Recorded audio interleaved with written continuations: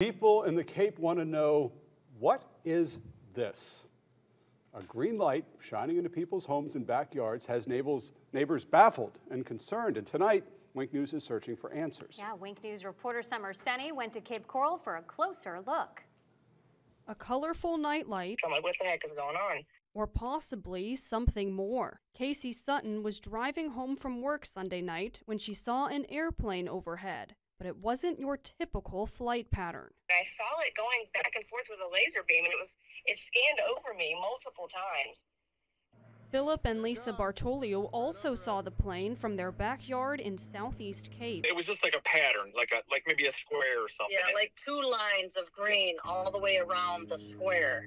It was scanning the whole area, every square footage, basically covering Cape Coral. It's really weird. People who live here saw mysterious laser flights for three nights in a row, and they all asked the same question. What's going on here? You know, it was weird. Summer Senni, Wink News. There's one possibility being considered. Randigo LLC, a company that conducts aerial surveys, owns 33 planes and has conducted surveys in other Florida locations, including Sarasota and Manatee counties. Right now, we're waiting to hear back from NOAA.